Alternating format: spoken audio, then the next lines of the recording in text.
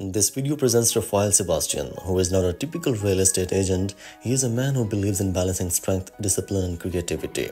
His incredible fitness journey as a vegan bodybuilder inspires many. Along with his massive physique, he has a softer side, his love for playing the piano. This unique combination of strength and melody makes his life story extraordinary and worth watching. Being a vegan, he shows that you don't need meat to build muscles. He proves that with determination, the right mindset, and discipline, anyone can achieve a strong, healthy body. His lifestyle reflects his belief I am not a product of my circumstances, I am a product of my decisions. These words motivate us to take control of our lives and focus on what truly matters. Living in the UK, he balances his real estate career and social media presence with grace. He shows us that it's possible to manage work, fitness, and hobbies together. Whether closing deals or lifting weights, he gives his best in everything he does. His story has proved that hard work and passion go hand in hand.